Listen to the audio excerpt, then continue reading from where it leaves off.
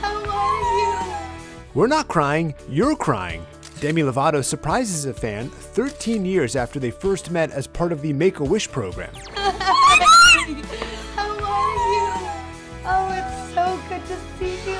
It all started in 2009 when a little Lovatic named Austen got the surprise of her life amid her battle with kidney disease. I don't really know what I was expecting because that was like my first time meeting like anyone, like celebrity. I think my wish made me a little bit into the person I am today, going to shows and using music as that coping mechanism and how just strong and how much music can help people in general.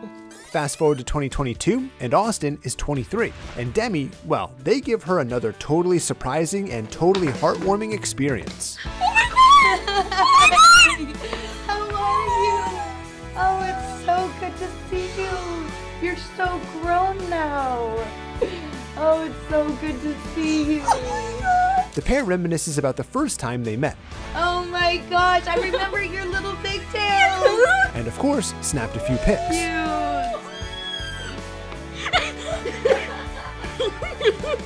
Austen is now thriving, with hopes of giving back as she studies to be a speech pathologist. And Demi says meeting fans like Austen and seeing them soar makes it all worth it. Over the years, working with Make a Wish, I have seen how a spark of hope can ignite a world of possibilities for children with critical illnesses. A child's fight against a critical illness is not only physically exhausting, it can be emotionally traumatic. Granting wishes can often help kids find light in the darkness of their circumstances. For Demi, not only are they giving back to others, they're also giving us new music. Sure,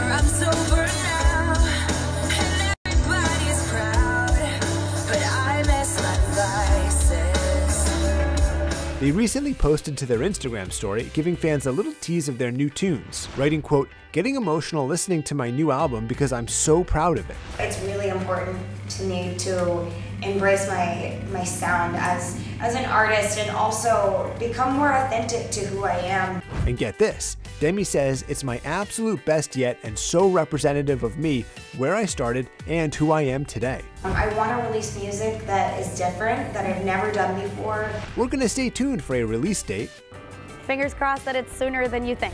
but until then, no doubt Demi's new album will be out of this world. Wow, wow, look Whoa! Did you see that? Yo, yo, hold the phone. Yeah, it's a topic they're exploring on their Peacock docu-series, Unidentified with Demi Lovato. I think it's important for me to talk about my experience so that more people don't feel alone in their experiences. Do you feel like it's like present in your everyday now? Are you like constantly looking around and feeling more? I definitely have it in the back of my mind everywhere that I go, no matter what I'm doing. It's, yeah, I, I, it's in the back of my mind.